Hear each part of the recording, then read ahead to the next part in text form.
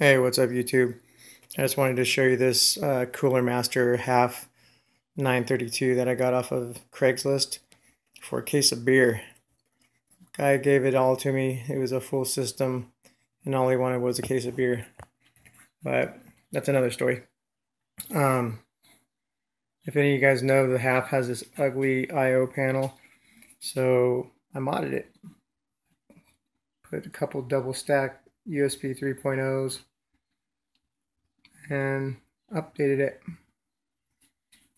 It used to have this big old nasty thing with USB 2.0 and eSATA and Firewire 400. It was nasty looking. So I went ahead and got one of these Silverstone deals and used it to put that together. Um, I'll go ahead and uh, take it apart in a second and show you guys what's underneath. Sweet. So here's the front of it. Just wanted to give you a little look at it before I take it off. It's not totally perfect, but it's close enough. This little panel is actually from a CD case. It was like thin enough to where it was almost flush with this and it was nice and flexible and easy to cut with a razor knife. So that worked out pretty good.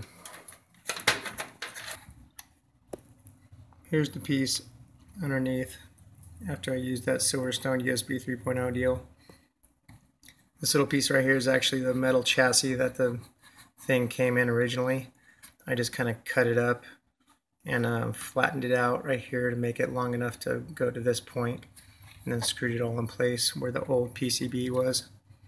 This part right here, I actually like flipped it upside down or right side up because this is hanging on the ceiling it makes the USBs upside down.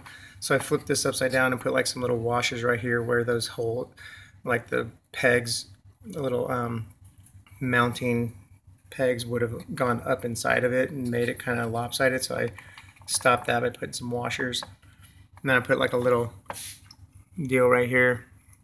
It's just a shallow screw into the rubber. There was no, you know, wires or anything right there. It was super shallow. Then I just double-sided taped it to the front. I used uh, the original, oops, sorry, HD and um, power light. And that one I sleeved to make it kind of look better. And that's about it. It was pretty easy. Except for the, the panel, I had to line it up. It's definitely not perfect, but it's close enough. The way I did that was, here's all my screw-ups right here. Here's the little leftover piece from the chassis. I kind of used that to make um, pattern, the pattern on here. This is that CD stuff. Seems really like too flexible and stuff, but once you glue it in and stuff, it's pretty solid. These were my first two screw ups. That's the old panel that I cut out that had all the old stuff in it. There's the little kind of brushed metal looking faceplate from the original. The way I did it, I had to take some aluminum foil. Once that was mounted, I kind of put some aluminum foil over here and pushed it all out so I could see where everything was. Then use that to make the pattern a little bit more perfect. Came out pretty good. This one's a little bit crooked, but it's kind of like the metal's bent a little bit there too. Should straighten that out. Then I just used some standard epoxy to glue it in. That was my holes that I thought I was going to drill, but I decided to go over here. And all this is going to get painted, so a little bit of glue right there is not going to make a difference. I'm not sure what I'm going to do with the paint yet. I might go like a grayish white with a digital ghost camo. That look pretty sweet. This case is pretty old too. The quality control um, stamp on the inside says 2009. That's pretty dirty too. I haven't really cleaned it up. I just wanted to do this little quick IO deal. make it look a little better.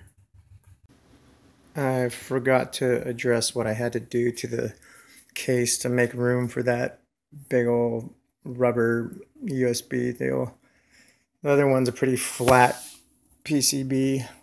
It's just kind of hanging there, so everything was kind of just sitting right here in this little area. Well, all this metal right here was in the way of that rubber deal. And so I basically just cut it all out. My Dremel broke halfway through it, so I had to resort to some uh, tin snips that I have. And turned out pretty good considering I used freaking snips for most of it and then filed it kind of up so I don't cut myself. But I'll clean all that up a little better before I um, paint it. And it didn't like mess with the, you know, rigidity of the case or anything. It just had to be done. I felt bad kind of cutting it up, but I had to make room. Make room. Then I kind of like push this down right here, this edge. I need to clean this up a little bit better before I paint it. But the wires are also a lot thicker, and they just were kind of causing the whole deal to, you know, have a little bit of crack right here on the edge. So I pushed that down too. But I'll clean it all up and then get the paint on. Anyways, hope you guys like it.